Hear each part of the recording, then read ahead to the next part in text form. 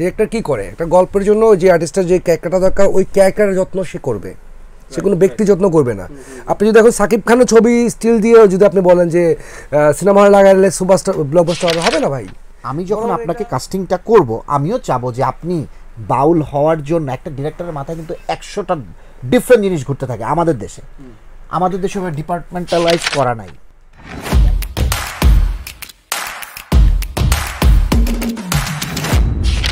এই দুজন নির্মাতাকে যেহেতু পেয়েছি দুজনের কাছে প্রশ্ন। আমরা অনেকের সাথে যেহেতু আড্ডা দিই কথা বলি কথা নেই অনেকে বলে যে আসলে ভালো নির্মাতার কাছে আমরা ঠিক মানে এক্সপ্লোর করতে পারি না। এই জন্য তার জীবনের সেরা অভিনয়টা দিতে পারছে না। একদিকে যেমন আবার অন্যদিকে যে খুব বেশি যে মানে সেল ভ্যালু সহ তারকা আমরা বিগত দশ পনেরো বছরে দিতে পারি না। অনেক বছর পরে শরীফুল রাজের কথা শোনা যাচ্ছে। যে তাকে নিয়ে নাকি ছবি করা সম্ভব। মানে তাকে ফ্রন্ট লাইনে নিয়ে। আরেকটু সময় যাক মানে রাজি স্টিল মানে মাত্র ইনিংসটাতে মাত্র ক্রিজে সেট হয়েছে মানে, তো? হ্যাঁ, একটু- প্রশ্ন শুধু রাজকে নিয়ে না যে ইন্ডাস্ট্রিতে এত এত মেধাবী নির্মাতা অনেকগুলো তারকা মানে অনেকগুলো আর্টিস্ট তো দেওয়ার কথা ছিল। আসলে হ্যাঁ। কি মানে পেরেছেন কিনা আপনারা? আপনারা বলছি আমি কিন্তু পার্সোনালি প্রশ্নটা নিচ্ছি না ইন্ডাস্ট্রি ইন্ডাস্ট্রি জেহাদ খান। হ্যাঁ ফেলিয়ার তো দায়িত্ব স্বীকার করতেই হবে আমরা পারি নাই। এখন আমরা পারি নাই কেন পারি নাই সেটা বলতে এখন আমি আপনাকে আজকে কাস্টিংয়ে নিতে চাই। তানির ভাই আপনি একটা বাউলের ক্যারেক্টার করবেন। কারণ আপনি যদি কালকে সকালবেলা ইসাই মেকআপটা নিয়ে বাউল হয়ে যেতে চান তাহলে কি আপনি বাউলটা করতে পারবেন?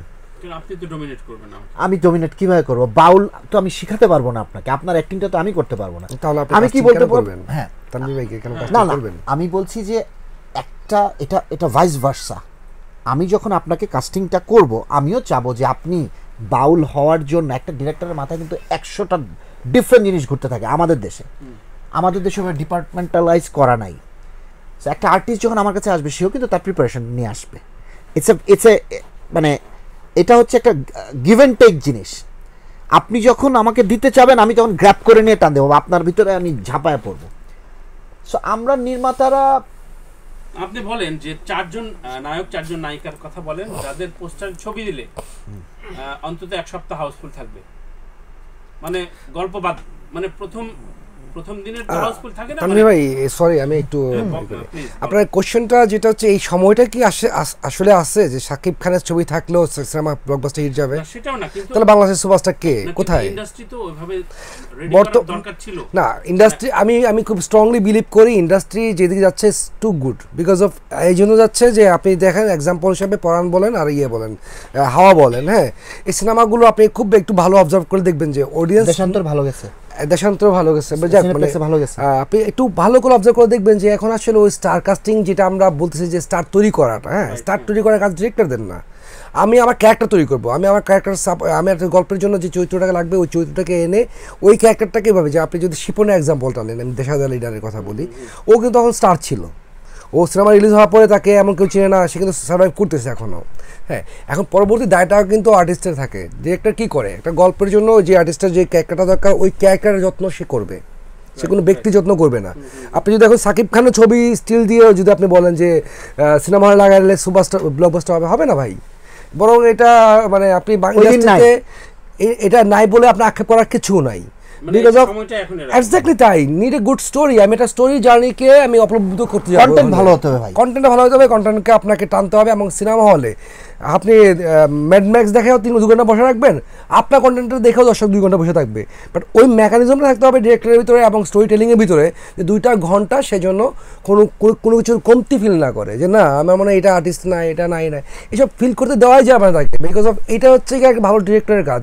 যে তুমি আমার স্টোরিটাকে জার্নিটাকে অবলম্বন করবা, কোনো স্টার আমি সাকিব খানকে সাকিব খানকে দেখার জন্য যাবা। তুমি এবং সাকিব খান চরিত্রটা করতে ওই চরিত্রটা দেখতে যাবা হলের ভিতরে।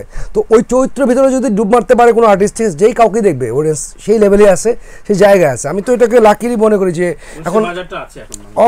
Obviously this the good point এবং আমরা এটাই এটাই আমরা এটাই আমাদের ভালো দিক এখন সিনেমার দিকে। আপনি যদি বলেন যে ভালো দিক কী সিনেমার বর্তমানে? এটা অডিয়েন্স বুঝতে শিখছে ভালো স্টোরি এবং ভালো মেকিং হলে সিনেমা দেখবে। স্টার কাস্টিং না। আরেকটা অভিযোগের বিষয়ে বেশ কয়েকজন বলে শহীদ হোসেন সাচ্চু ভাই বললেন যে এখন আপনারা সিনেমাতে যেমন ওটিটিতে তো আরও না গানটা খুব যত্নভাবে ব্যবহার করছেন না।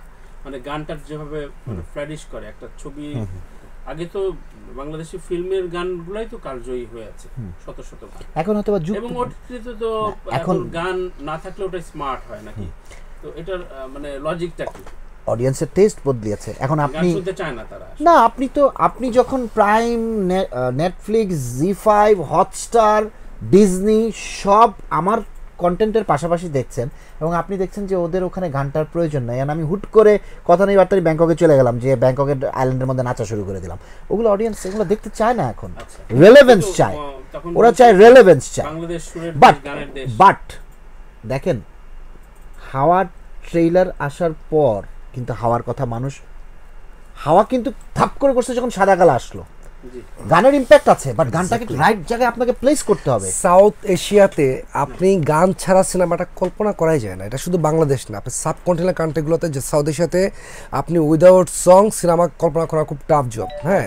আপনি বেবি মনে হয় একটা এক্সাম্পল হতে পারে ইন্ডিয়া সিনেমা একটা বেবি নামে একটা সিনেমা যেখানে গান ছিল না। আলটিমেট হ্যাঁ আলটিমেটলি কিন্তু আলটিমেটলি গান খুবই ভাইটাল পয়েন্ট ক্যারি করে। বাট আমি যখন রিয়েলিস্টিক ওয়েতে গল্প বলব যেটা বলে জাম করে আমি থাইল্যান্ড যেতে পারব না আমি যখন পপুলার কন্টেন্ট বানাবো যে পপুলার কন্টেন্টের মাসালাদার অ্যাকশন থেকে শুরু করে পপুলার কন্টেন্ট যেটাকে বলি পপুলার এখন পেপি সং বলেন আইটেম সং বলেন ট্র্যাকগুলো তখন ধামাকাভাবেই করা যাবে এবং এই ধরনের গান এই ধরনের সিনেমা কিন্তু হচ্ছে। বাংলাদেশের যে জিনিসটা হচ্ছে পপুলার কন্টেন্ট কম হচ্ছে, যার কারণে আমাদের সিনেমা গানগুলো খুব কম দেখা যাচ্ছে। পপুলার কন্টেন্টটা আমাদের আমার পপুলার কন্টেন্ট আছে হিরো চারশো বিশ পাশান এগুলোতে আপনি দেখবেন গানগুলো খুবই পপুলার বিকজ অফ ওই কন্টেন্টটাই হচ্ছে পপুলার কন্টেন্ট এখন আমি এক্স্যাক্টলি আমি যখন সুলতানপুর বানাইছি আমি যখন তালাশ বানাইছি আমাকে অনেক চিন্তা করতেছে যে টোটালি আমার কন্টেন্টটা হচ্ছে রিয়েলিস্টিক ব্লেন করা হ্যাঁ? অডিয়েন্স যেন কখনই মনে না হট করে সে জাম করে আসমানে গেল কেন? হ্যাঁ এটা তখন তাকে জাক দিবে। তো স্টোরিও কিন্তু একটা বা বেকিং টোনও বলে দেয় যে আমাকে আসলে এখানে গান দিলে গান থাকা আমি মনে করি বাঙালির রক্তে আসলে গানটা অন্যরকম জিনিস। বাঙালি কেন? সাউথ এশিয়ার সবাই গান ডিফারেন্ট জিনিস। গান আপনাকে ভালো মুভমেন্ট রেলেভেন্ট হতে হবে। এবং এই ধরনের গান সিনেমা তো আমরা যেটা করি আমরা আমার মনে হয় না যে একেবারে গান লেস সিনেমা হয় বাংলাদেশে। আমরা বিজিএম হিসেবে গান ইউজ করি। আমরা বিভিন্ন হামিমে গান ইউজ করি। গানটা থেকে মানে লিপসিংটা অফ আর- কমে গেছে আর। যে কথাটা খিজি ভাই বললেন নেটফ্লিক্স এবং ইয়ের ব্যাপারে আমি এটা এই জায়গায় দ্বিমত আমি বিশ্বাস করি বাঙালি বাংলা কন্টেন্ট দেখতে চায়, আমার কন্টেন্ট দেখতে চাই সেই ক্ষেত্রে আসলে যেটা হচ্ছে যে আমরা যদি, আমরা যতটা আপনি গ্লো আমি একটা কথা বলছিলাম তানভীর ভাই আপনার সাথে এর আগেও একবার, যতটা আপনি লোকাল ততটাই আপনি গ্লোবাল এটা হচ্ছে বর্তমান যুগের একটা সিনেমাকে হিট করানোর প্রথম ট্রেন আমরা যদি ভাবি সাউথের মতো সিনেমা কেন হচ্ছে না আমরা যদি ভাবি হলিউড সিনেমা হচ্ছে এটা ভুল তখন আর সিনেমা চলবে না। আমরা যখন আমাদের মাটির গল্পটা খুব সুন্দরভাবে মানুষের সাথে নিয়ে গল্পটা বলতে পারব তখনই না কন্টেন্টগুলো হিট করে। এবং দেশের বাইরে এটা হচ্ছে ইউনিক কন্টেন্ট হয় তখন। তো আলটিমেটলি অন্যান্য কান্ট্রিগুলো এই কন্টেন্টে তাকাই থাকে। এটা গ্লোবাল তখন একটা গ্লোবাল একটা কন্টেন্ট তৈরি হয়। তখন ওরা আমার এই কন্টেন্টটাকে কিনতে চায়। আমি তালাশ ইয়ে, আপনি দেখবেন যে তালাশ আমি সেল করছি হচ্ছে হিন্দি রাইটস হিন্দি রাইটস কেন নিচ্ছে ওরা হিন্দিতে ডাব করবে হিন্দিতে বিভিন্ন টিভি চ্যানেল চালাবে বিকজ অফ তাদের কাছে একটা ইউনিক কন্টেন্ট আমাদের আমাদের টোনের কন্টেন্ট হ্যাঁ?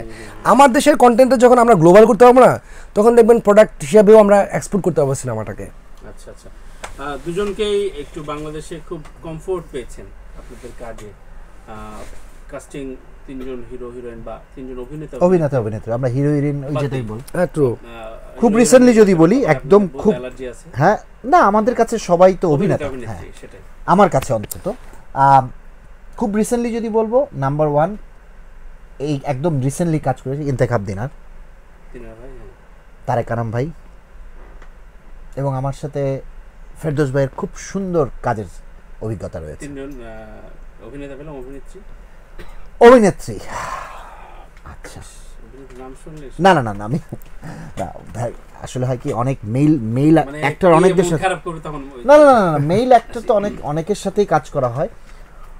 পারফরমেন্সের জায়গায় আমি বলব মমো খুবই ভালো করেছে ওরা সাতজন হ্যাঁ। খুব ভালো করেছে। প্রয়াত লিনা আপা আমার জাগতে ছিল। আচ্ছা। ওনাকে ওনার সাথে আমি একটা বিজ্ঞাপন বানিয়েছিলাম। ফেরদৌসি আর লিনা একটা বিজ্ঞাপন বেরিয়েছিল হোলি আর্টিজানের পর। একটা মা তার ছেলেকে দেখতে সেন্ট্রাল জেলে যাচ্ছে। ছেলেটা সন্ত্রাসী হয়ে গিয়েছিল। আমার মানে she is a character artist but তার সাথে কাজ করার অভিজ্ঞতা খুবই ভালো।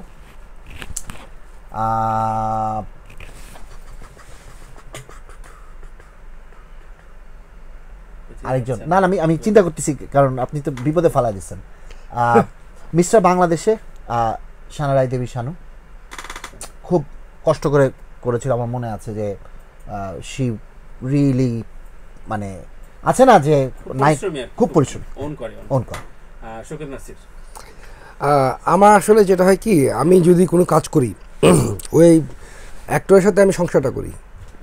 একদম তো আলটিমেটলি ওকে আমার কোনো প্রকার ব্যাড বা কোনো সে তারপর একটা বেস্ট কমফোর্টের জায়গা থাকে না মানে সবাই টোটালি যেটা আমি যাদের সাথে কাজ করছি সবাই না সবাই। সব ভালো লাগার জায়গা থাকেই।